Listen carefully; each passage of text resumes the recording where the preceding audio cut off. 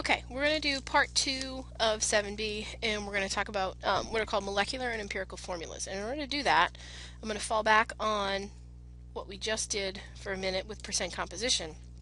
So if you look at two compounds, um, dinitrogen tetroxide and nitrogen dioxide, name both of these using prefixes, which we just did, and define the percent composition of nitrogen and oxygen for both.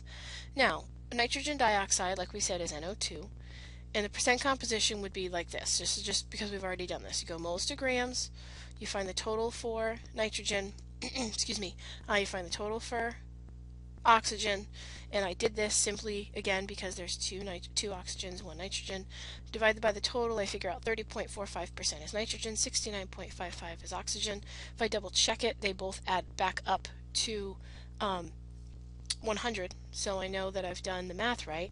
Now, if I look at, excuse me, dinitrogen tetroxide, actually there should not be an A there, right, tetroxide, be N2O4, um, and it comes out to exactly the same, okay? So you've got your 30.45% nitrogen and 69.55% oxygen. Now, it's important to know that the, the mass percentage is the same, but they're very different compounds, which you can see from the um, kind of ball and stick figures, all right? And this is why with molecular compounds, two nonmetals, we do not reduce down because these are two different compounds with two very different set of properties and what that entails. So we're going to talk about two different types of formulas today. The first is what's called the empirical formula. Now, empirical formula contains the simplest whole number ratio of atoms. Okay, I've talked about the fact that we don't necessarily always reduce down. Um, it's not necessarily the correct molecular formula or the actual formula of the molecule, and that's because with molecules, they don't have to be simple whole numbers. Okay, again, here's another example. Here's boron trihydride where you have one boron in the middle and three hydrogens. Then you have diboron hexahydride, okay? Two very different com compounds, but they both would reduce back down to a simpler BH3. So they both have the same empirical formula, but different molecular formulas. That's exactly what it just says right there. Okay, so let's do some steps. First, if you're finding the empirical formula, you convert the percentage to grams by assuming that there's 100 grams of a total sample. This is if you're given percent composition. Okay, so this obviously ties to what we were doing earlier in the unit. You then convert grams to moles for each element, identify the small molest value, and divide each mole value by that smallest value. Now I know that sounds hideous, and it's going to make more sense when you see an example, but it all comes back to the fact that formulas still give us mole ratios in that if I have water, which is H2O, there's 2 moles of hydrogen for every 1 mole of oxygen, 2 atoms of hydrogen for every 1 atom of oxygen.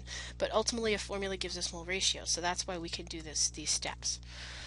Okay, so quantitative analysis, remember that refers to numbers, shows that a compound contains um, 32.38% sodium, 22.65% sulfur, 44.99% oxygen. We need to find the empirical formula. Now the first thing we're going to do is we're just going to pretend we have grams. So all we're going to do is get rid of these percent signs and substitute them with grams so that we can go grams to moles and then be able to convert the rest. Now I've given you some of the work so that you can see um, how to do it, but the first step is to go grams to moles for each element. So sodium, we had 32.38. We divide it by the molar mass to get 1.408. You always want to carry at least four significant figures in this step, and you're going to see why in a minute. Sulfur, again, we divide by the molar mass of sulfur, 0.7063 moles of sulfur.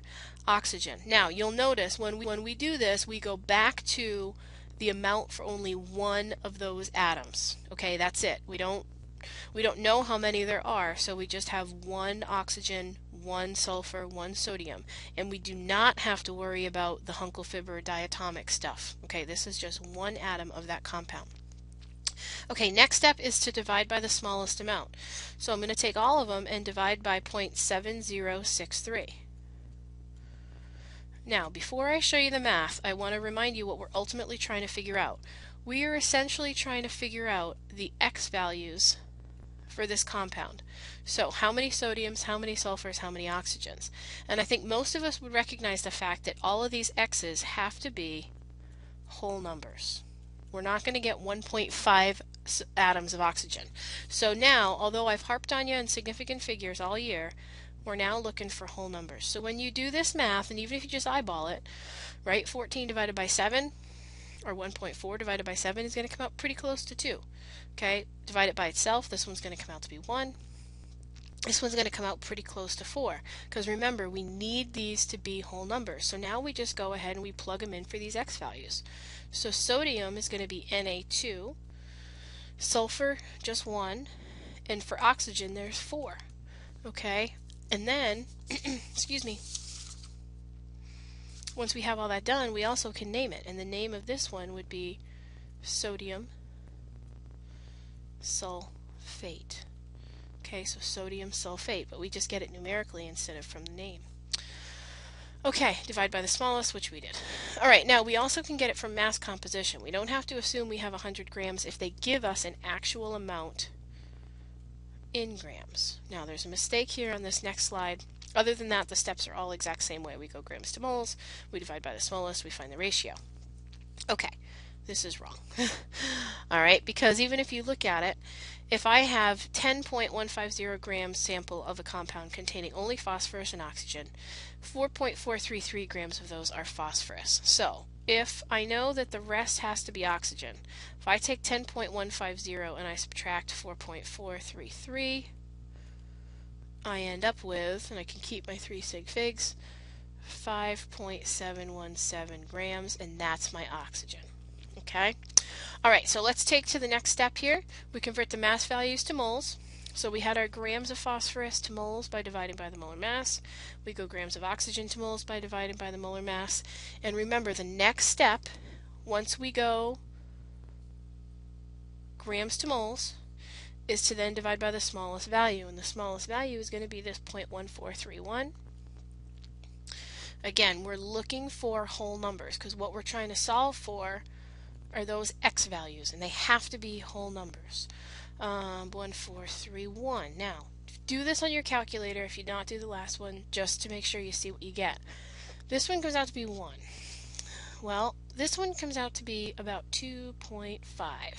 Now, if it was 2.999, I can round it up. 2.01, I can round it down. 2.5, I can't ignore that. So what I have to do is multiply everything by an integer in order to get rid of it. Now if I take 0.5, multiply it by 2, well 2.5 times 2, I'm going to get 5. But if I, it's like algebra, if I do this to 1, I've got to do it to the other. So my phosphorus is then going to be 2, right? And my oxygen is going to be 5. So if I get a decimal, I can't totally ignore it. I have to be able to get rid of it. But my final answer here is P2O5 or diphosphorus pentoxide. Now, there are some patterns and some options. If you get 0.25, you got to multiply all of them by 3. I'm sorry, by 4. 0.33, multiply all of them by 3, by 2, 3, and 4. And the most common ones that you see are the 0.5 and the 0.33, but technically all of them are fair game. So if you get a, a, decimal, you also don't necessarily have to memorize it. You can just figure it out. Keep multiplying it by integers until you get a whole number. Okay, now molecular formulas are a little bit different. They're the actual formula for a compound. So just like we saw with the dinitrogen tetroxide, this would be the molecular formula. Now it can be the same as the empirical, but it doesn't have to be. But to find the molecular, you need two things. The empirical formula of the compound and the actual molar mass or formula mass of the compound. And these are going to, a lot of times you have to find, you may have to find the empirical, but the actual molar mass is going to have to be given to you. Okay, so that should make your life a little bit easier. We compare them to see if how they how they uh, relate to one another, and then we see if we got to multiply. Okay, the last example, the empirical formula was found to be P2O5, diphosphorus pentoxide. Yeah. Experimentation shows the actual molar mass is 283.89 we want to know the molecular formula. Okay, so again, here is the actual molar mass. They gave it to me, just like I said they were going to have to. And um, the next step that we have to do is we have to find the molar mass of the empirical formula. So, because if they're the same, then we know it's going to be exactly the same. So if I find phosphorus on the periodic table, molar mass is 30.97. There are two of them. I have to add that 2 5 times 16.00. I end up with um, 141.94, which is not what they gave me. Okay, so my next step, I have to divide the actual molar mass by the empirical formula's molar mass. So what they gave me on the last slide, now you always have to divide the larger number by the by the smaller number um, because you're going to see why here in just a second. 0.89 divided by 141.94. Again, we're looking for a whole number here. This is going to come out to be 2.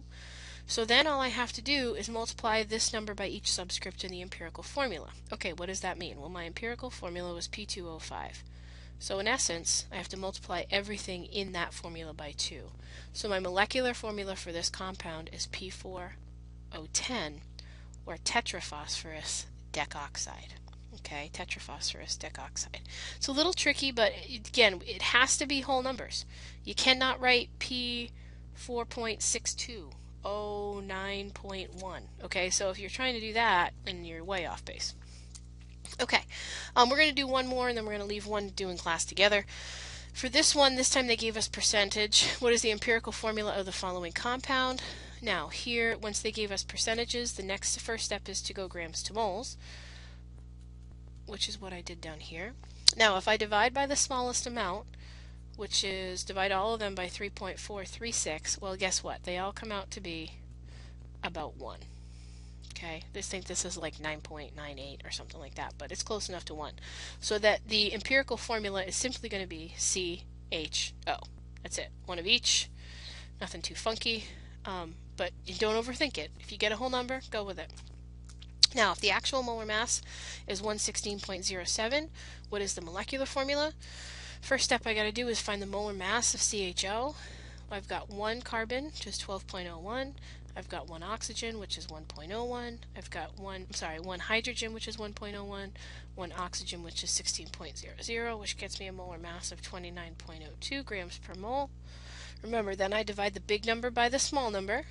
So I'm going to take 116.07, divide it by 29.02, and get to 4 and we just have to multiply it out. So if my empirical formula was CHO, I can multiply everything by 4, C4, H4, O4. Okay, we're going to do example 3 and talk through the reminders and tips in class, and I hope